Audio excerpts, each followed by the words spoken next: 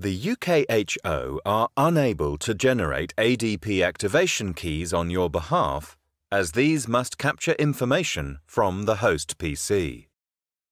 To request an activation key, please take the following steps through the License Key Wizard Startup Key Only screen accessed via the Start menu or desktop. Select the Request or Add an Activation Key button and click Next. Then select Request an Activation Key and click Next again. Choose whether you would like to make your computer the main or backup system on the license, then click Next.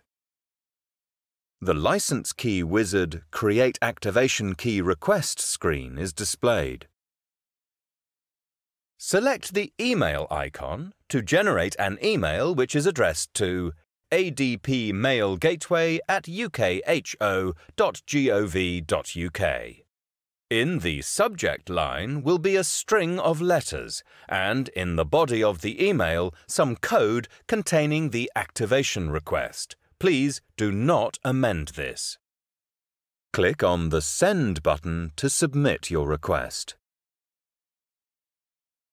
Providing your request is sent correctly, you should receive an automated email within minutes containing your activation key.